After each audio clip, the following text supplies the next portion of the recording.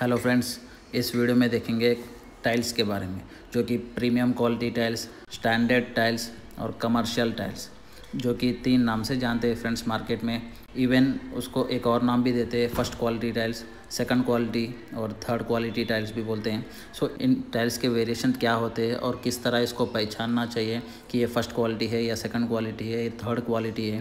क्योंकि मार्केट में इसी तरह धोखा देते हैं कि सेकंड क्वालिटी टाइल्स को भी फ़र्स्ट क्वालिटी टाइल्स बोल के बेचते हैं। सो so, इस तरह की स्कैम से बचे फ्रेंड्स अगर किसी सप्लायर ने आपको प्रीमियम क्वालिटी टाइल्स के बदले में स्टैंडर्ड क्वालिटी टाइल्स जो कि सेकंड क्वालिटी टाइल्स बेचेंगे तो किस तरह का आप एक्शन लेना चाहिए? कहाँ पे आप कंप्लेंट करना चाहिए?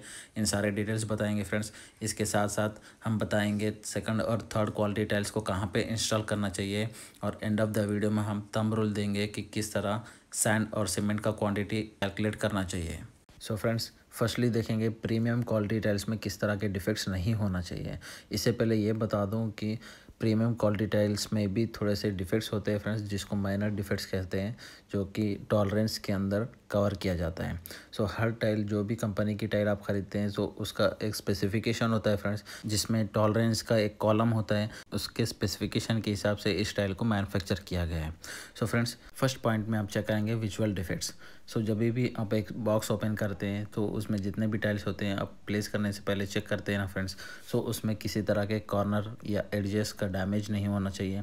जो टाइल के टॉप सरफेस होते हैं, उस पर किसी तरह के क्रैक्स या स्क्रैचेस नहीं होना चाहिए. उसके साथ साथ ये भी चेक करना चाहिए कि टॉप में जो कोटिंग होता है फ्रेंड्स उस पर किसी तरह का डिफेक्ट्स नहीं होना चाहिए. सेकंड पॉइंट में चेक करेंगे फ्रेंड्स शेड वेरिएशन जो कि प्रीमियम क्वालिटी टाइल्स में नहीं होना चाहिए। और फ्रेंड्स एक बात ध्यान में रखें टाइल्स लेने से पहले या ऑर्डर करने से पहले आपका जितना भी रिक्वायरमेंट है प्रोजेक्ट का, उस चीज़ को पहले देख ले कि मटेरियल अवेलेबिलिटी है या नहीं। क्योंकि डिफरेंट काइंड्स ऑफ़ बैचिंग जो होते हैं, उसकी वजह से एक प्रॉब्लम मेन इश्यू जो रेज होता है शेड वेरिएशन सो इस तरह के प्रॉब्लम्स को ओवरकम करने के लिए आप पहले चेक करना चाहिए जितना भी आपका प्रोजेक्ट रिक्वायरमेंट है टाइल्स का, उस चीज़ का मटेरियल अवेलेबिलिटी है या नहीं।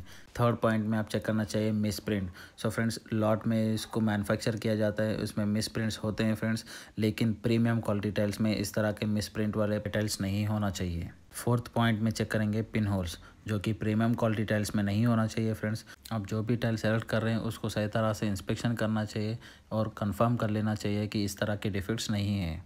फिफ्थ पॉइंट में आप चेक करेंगे सरफेस क्रैक्स जो कि फ्रेंड्स प्रीमियम क्वालिटी टाइल्स पे किसी तरह के सरफेस क्रैक्स आइडेंटिफाई नहीं होना चाहिए। सिक्स इंपॉर्टेंट पॉइंट है लिपिंग जैसे आप स्क्रीन पे देख रहे हैं फ्रेंड्स इसको लिपिंग कहते हैं। इस तरह लिपिंग अगर आप प्रीमियम क्वालिटी टाइल्स पे आइडेंटिफाई कर रहे हैं तो आप जो भी मैनुफैक्चर है, उसके स्पेसिफिकेशन के हिसाब से आप रीचेक करना चाहिए कि विद इन टॉलरेंस है या नहीं। अगर टॉलरेंस के अंडर नहीं है तो इसको सेकंड क्वालिटी या थर्ड क्वालिटी कह सकते हैं। सेवन्थ पॉइंट में आप चेक करेंगे साइज़ वेरिएशन। लेंथ और विड्थ के साथ साथ आप डायगनल भी चेक करना चाहिए फ्रेंड्स। अगर किसी तरह का वेरिएशन आप नोटिफाई कर रहे हैं तो प्रीमियम क्वालिटी टाइल्स के जो टॉलरेंस स्पेसिफिकेशन है फ्रेंड्स, उसके साथ मैच करके चेक करना चाहिए कि विद इन टॉलरेंस है या नहीं। सो so फ्रेंड्स अगर किसी सप्लायर ने आपके साथ स्कैम किया या चीटिंग किया, जैसे कि आप प्रीमियम क्वालिटी टाइल्स का पेमेंट कर दिए, लेकिन आपके साइड पे आ गया सेकंड क्वालिटी टाइल्स जो कि स्टैंडर्ड क्वालिटी टाइल्स होते हैं। सो so फ्रेंड इस तरह के सिचुएशन पे आप क्या करना चाहिए? किस तरह का आप उस चीज़ पे एक्शन लेना चाहिए? फर्स्टली आप नॉलेज रखना चाहिए कि consumer protection act C P A nineteen के बारे में। जो कि फ्रेंड्स कंपनीज़ जो होते हैं, जो कि मेन मैन्युफैक्चर कंपनीज़ होते हैं सेकंड या थर्ड क्वालिटी प्रोडक्ट्स को अगर किसी तरह का क्वालिटी कंप्लेंट्स अब करते हैं सो एंटरटेन नहीं करते हैं फ्रेंड्स लेकिन प्रीमियम क्वालिटी टाइल्स के बारे में अगर किसी तरह का क्वालिटी कंप्लेंट्स आप कर रहे हैं तो इसको सीरियस एक्शन लेते हैं फ्रेंड्स जिसका हो सकता है आपको रिप्लेसमेंट करेंगे या फिर आपका कैश बैक कर देंगे.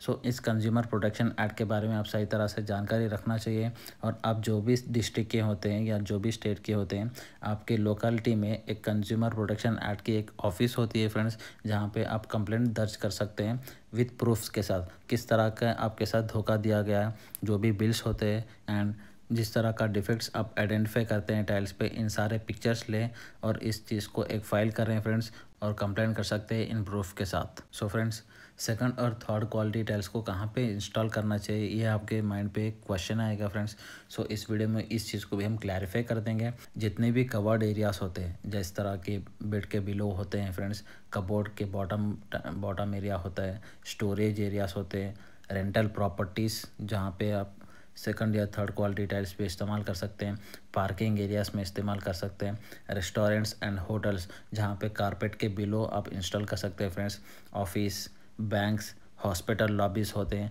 जहाँ पे चेयर्स या फिर कारपेट के बॉटम में आप इंस्टॉल कर सकते हैं।